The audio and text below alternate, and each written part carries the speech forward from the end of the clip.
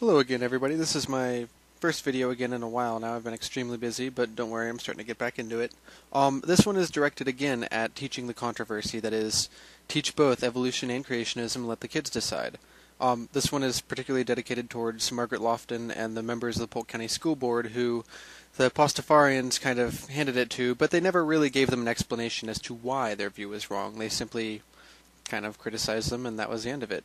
So I, I, did an earlier video on this subject, and it was it was somewhat rushed. It was right after I had gotten my um, um, Adobe Premiere Pro and started making videos, and I, I, I somewhat rushed it. So I wanted to actually take the time in this video and explain what was going on and what the situation is.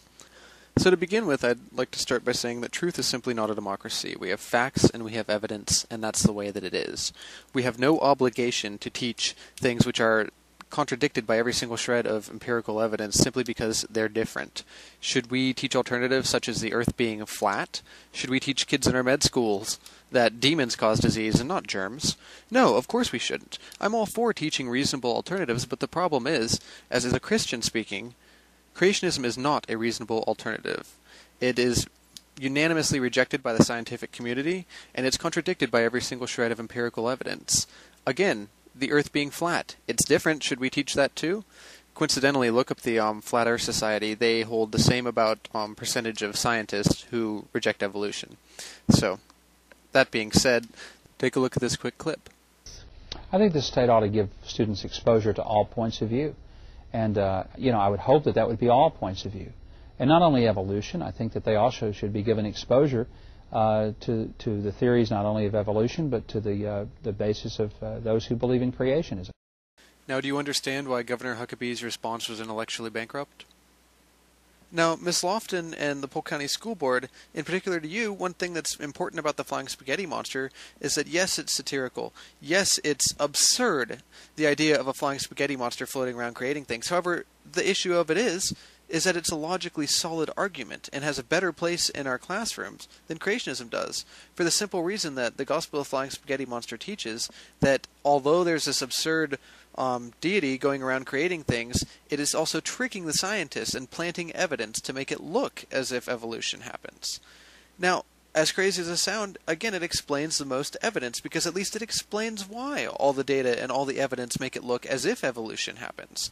Creationism doesn't do that in fact, creationism is completely out of whack with the evidence. So, as crazy as it may sound, the, this absurd idea of a flying spaghetti monster, it has more of a place in our classrooms than creationism does. When you understand why you scoff at the flying spaghetti monster, you'll understand why the educated world scoffs at intelligent design. Now, the other thing that you commonly hear is that it's fair to teach both. It's fair to teach creationism and evolution. If you teach one, you have to teach the other. You've had the scientists, you've heard what they have to say, now listen to what we have to say. Um, there's a major problem with that simply because they're at utterly different levels of proof, and creationism is not only unsupported by evidence, it's contradicted by evidence. So, in order to get where evolution is, in the scientific theory in general, now this um, image right here, the bottom half is evolution, the upper half is creationism and what they want to do to get to the same path. To start off with evolution or any scientific theory, you have to start off with observation. Make a hypothesis, an experiment, you have to repeat the experiment, and then you submit it for peer review. The editor of the publication that you're trying to get it published in will write back with many revisions. It, it this is a tedious process. Only 10% of papers ever get published. It, it's pretty hard to do. You retest, you revise, and then you resubmit it if you are published, other scientists are eh, they're vultures. They do they want to do nothing but to disprove whatever you have shown. That's that's how sci- that's how the scientific community works. It's by disproving. Um, they analyze your results for years, and if they get any inconsistent results, it's a major problem.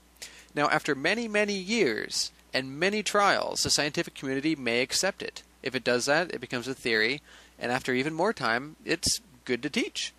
Creationism, on the other hand, wants to bypass that entire peer review expert panel and simply go from reading the Bible to being able to teach it. I'm sure that you see the problem with that from a logical standpoint and an intellectual standpoint, but furthermore, that's the exact opposite of fair. Evolution and any other scientific theory has to go through rigorous testing, but creationism simply gets to jump to the front of the line because it's different? That's absurd, and by all means, it's least fair. Another reason why it's an awful idea to teach creationism, other than the fact that it's simply not true, is that there is no controversy whatsoever in the scientific community about it. And and that's a problem is that the creationist movement seeks to create the image of some sort of controversy going on. No. There are four times more historians that reject the Holocaust than there are scientists rejecting evolution. It simply doesn't happen. And I'll actually, um, my next video is going to be about this. But the fact of the matter is, there's no debate whatsoever. The time for reasonable doubt has come and gone in regards to evolution, and it's right now open to about as much reasonable doubt as whether or not the Earth goes around the sun. There is no doubt the scientific community is not divided, but what creationists try to do is create the dishonest impression that it is divided. Furthermore, creationists are utterly ignorant, frankly, about science in general because if they weren't, they would know the evidence, know how to interpret it, and they wouldn't be creationists. But the matter of fact is, when they go and try and support that, they're inadvertently or advertently, depending on the person, bringing in misinformation, which is worse off than no information whatsoever. How many times have you heard that there are no missing links and things like that, or all mutations are bad? This is the work of creationists, and it's simply not true whatsoever. I mean, this is there's no doubt about it. I mean, these are facts. They're they're not open for discussion. So by allowing creationism to slide in there, we're not only failing to teach our children, we're teaching them the wrong thing, which is a major problem. And the last thing that's wrong about teaching creationism is that it's downright shameful to let the children decide. That is such an awful, awful, awful idea because it's you're you're being shameful. You're foregoing your God-given intellect in favor of fanaticism and things that aren't supported by any shred of evidence.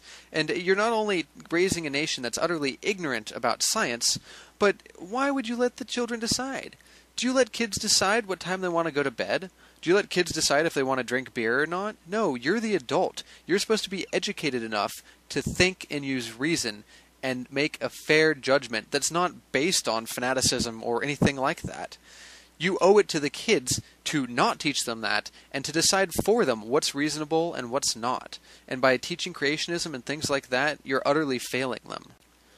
So, lastly, why is it important? Why does it matter if we teach evolution or not? Well, to begin with, the National Academy of Sciences has called it the unifying theory of biology because it unites the disciplines. That is to say, that the recent research explosions have been due solely to evolution because you can take information in one experiment with one organism in one discipline of biology and apply it across the board to suddenly thousands of others. Aside from that, aside from the fact that we're raising a nation that's utterly ignorant about biology, and aside from the fact that I use evolution in the form of 16S ribosomal typing every week to diagnose idiopathic oral infections and essentially save lives, and this is a tool that's based solely on evolution, nothing else. We can overlook all those and Let's listen to Bill Maher explain why it's important and why we should take it into consideration. If someone believes that the Earth is 6,000 years old, when every scientist in the world tells us it's billions of years old, why shouldn't I take that into account when I'm assessing the rationality of someone I'm going to put into the highest office in the land? Well, guys, that's about it. By all means, check out my other videos for proof and evidence for evolution, and as always, creationists, you're more than welcome to leave grammatically horrific comments. Have a good one.